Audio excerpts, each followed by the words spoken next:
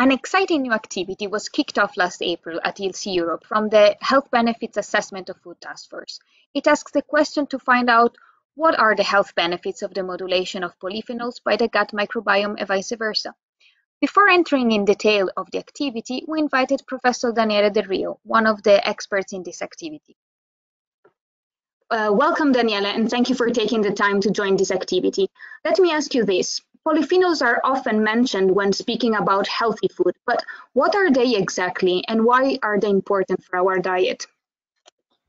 Well, you know, polyphenols uh, are a, a wide class of compounds. Actually, if you check the literature every day, I would say there's some group around the world identifying a new one. They're present, uh, present in plants, uh, pretty much in every plant, then every plant has a specific profile and uh, they can be considered plant secondary metabolites. So plants are actually producing these compounds for their own physiological reasons, sometimes for uh, defense, uh, sometimes uh, for you know uh, growing in harsh conditions, uh, and and they produce more or less depending on the condition they're growing. So until some years ago, we thought that polyphenols were only useful for plants, but actually it looks like they might also be useful for humans. So why are uh, polyphenols then important for our diet? Uh, well, some years ago, I would say 25, 30 years ago, people started to um, uh, measure polyphenols in foods. So we started knowing how much uh, of this set of compounds was present in every individual foods, which helped understanding how much polyphenols we were actually consuming through the diet. And of course, the, the step after this is to try to understand if that people consuming, if people consuming more polyphenols were actually also uh, getting any advantage out of this.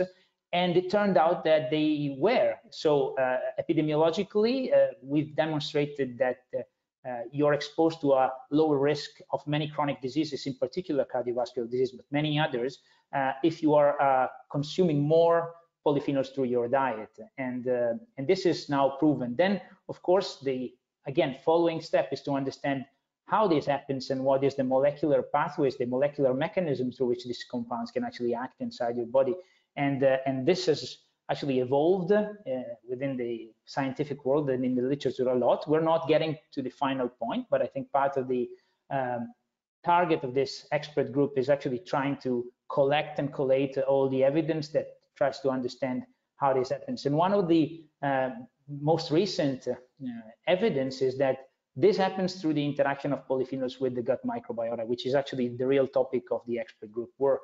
And you're going to hear from uh, uh, a lot of other colleagues in the same expert group that I am in about how these polyphenols can interact with the gut microbiota in a bidirectional way and how metabolites produced through this interaction are mainly the, the, the main responsible for the potential health effects of this interesting class of compounds. And you're also going to hear about what are the foods that are richest in polyphenols uh, and why and how you should consume more and if this is true because of course everything in nutrition needs to be evidence-based which is not always uh, the case if you want to know more about ILSI Europe, go to www.ilsi.eu